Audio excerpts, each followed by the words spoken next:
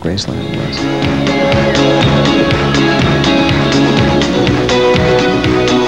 Oh, in Graceland, in Graceland, in Graceland.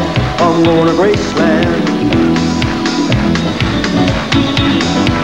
There have been a lot, a lot of people, of, uh, the people that have tried to do stuff with South African musicians, yourself in particular, have gotten flack from various quarters about, well, you're exploiting the third world.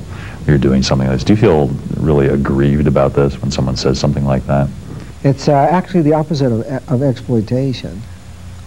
I mean, it's it's really an introduction of that music into the world arena. And the South African musicians that that I met uh, and that who I later toured with, they were very anxious to get their music out of South Africa, and they hadn't been able to.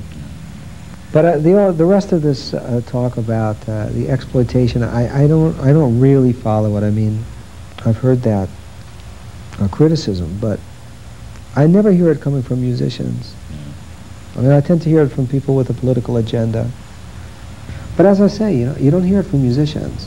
Yeah, exactly. Musicians, musicians are, musicians get excited about playing with uh, other good musicians. Sure.